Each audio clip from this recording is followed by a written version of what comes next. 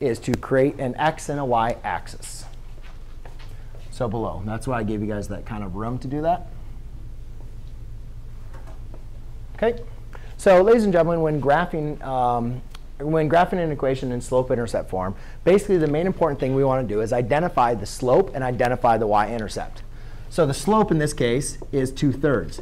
Remember, always write your slope. I want to always write my slope as a fraction. So if you, have, if you have the slope as a whole number, put it over 1. So it represents a ratio. The y-intercept, I want to write it as a coordinate point. And it's always going to be 0, comma, the value of b, which in this case is negative 4.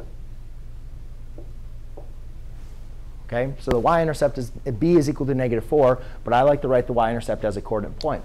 Because what that reminds me is the y-intercept, that point I can plot. So here is 0, 0. Here's the x-axis. Here's the y-axis. So if I was going to plot the point 0, negative 4, I'm not going left or right at all, but I'm going to go down 4 units and then make a nice big dot. That's the point 0, comma, negative 4. You don't need to write in what this um, y-intercept is, but I think it's kind of helpful just to remind yourself. Then what we're going to do is we're going to use the slope to find another point. We only need two points to graph a line. So remember, the slope represents a ratio, the change in y over the change in x the change between any two y values is a positive 2, meaning I can go up 2 units, and then the change in the x value is a positive 3. So I can go over 3 units to the right. So 1, 2, 3. And that creates my next point. Okay. Also, please remember that negative 2 over negative 3 is the same thing as a positive 2 thirds.